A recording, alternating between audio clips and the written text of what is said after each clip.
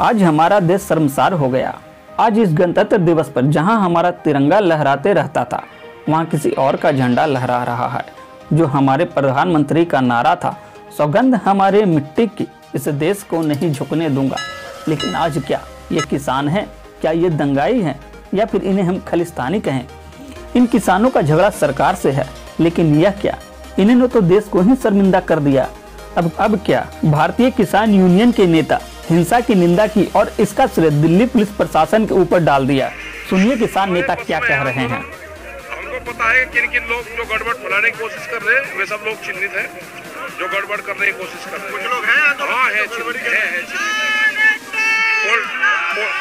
Political party के लोग हैं वे और वे इस आंदोलन को खराब कर रहे हैं। इसलिए है कि कई जगह पे परेड के जो रूट था उस रूट को तोड़ा गया शर्मनाक इसलिए है कि लाल किले पर 26 जनवरी के दिन कोई भी एलिमेंट इस तरह की हरकत करे, भारतीय के रूप में मेरा सर झुकता है। अब दिल्ली पुलिस किसानों के ऊपर आरोप लगा रही है। किसानों ने शर्तों का उल्लंघन कर परेड निकाला।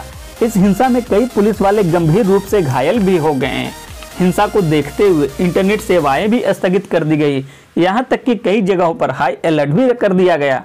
तीन जिलों, सोनीपत, पलवल और झलझर में इंटरनेट सेवाएँ एसएमएस सेवा तक बंद करनी पड़ी। इस दंगा को देखते हुए गृह मंत्री ने आपात बैठक की। अमित शाह की अगुवाई में करीब दो घंटे बैठक चली। इसमें दिल्ली पुलिस कमिश्नर और आला अधिकारी भी मौजूद थे। इस दंगा को देखते हुए दिल्ली में भारी सुरक्षा बल को भी तैनात किया गया। यहाँ तक कि पैरामिलिट्री फोर्स को भी बुलाना पड़ा। अब इस देश का दुर्भाग्य देखिए, कई राजनीतिक पार्टियाँ सरकार पर हमला कर रही है। ममता दीदी ने तो मोदी जी को दोषी करार दे ही दिया। वहीं शरद पवार ने भी सरकार पर ही उंगली उठाई। इस देश को शर्मिंदा करने वाले ये किसान नहीं हो सकते।